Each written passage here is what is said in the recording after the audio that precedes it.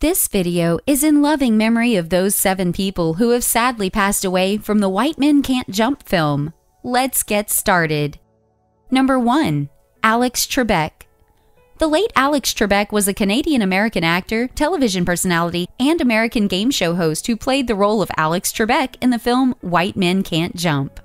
Sadly, the actor passed away on November 8, 2020, in Los Angeles, California, United States, at the age of 80 after fighting stage 4 pancreatic cancer from March 6, 2019. Number 2. Eloy Casados. The late Eloy Casados was an American actor who portrayed the character of Tony Stucci in the White Men Can't Jump film. The actor passed away on April 19, 2016, at age 66 in Pasadena, California, United States, but there are no records about the cause of his death. Number 3.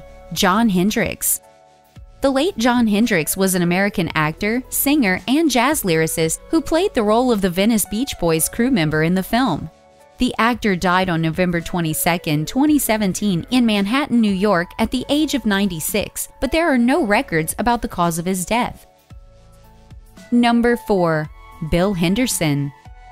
The late Bill Henderson was an American actor in film and TV, and a jazz singer who played the role of the Venice Beach Boys crew member in the movie White Men Can't Jump.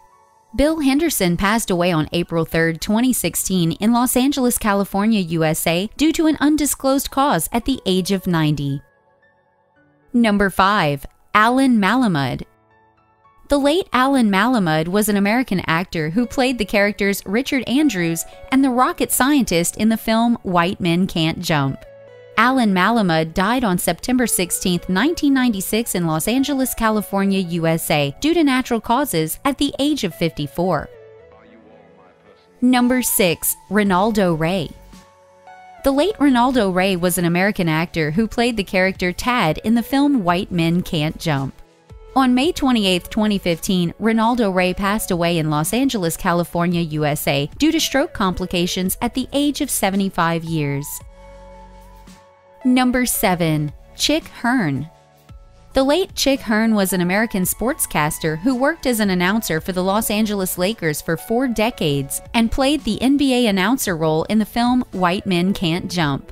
Chick Hearn died on August 5, 2002, in Northridge, California, USA, due to injuries suffered from a fall at the age of 85. Thanks for watching.